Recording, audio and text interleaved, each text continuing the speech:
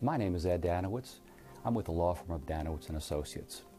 People often call and ask, "Can I discharge my taxes through bankruptcy?"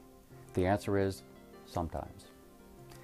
If you have income taxes and they are several years old, there's a very good chance that you can discharge the taxes, the penalties, and the interest that the IRS or the state of Georgia has assessed against you.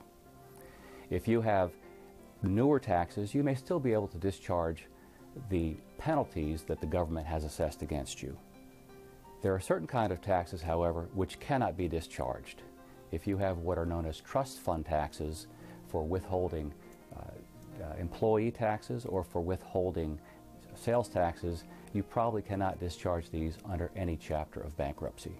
In order to find out if your taxes are dischargeable, please call us at the number below and speak with one of our attorneys at your earliest opportunity.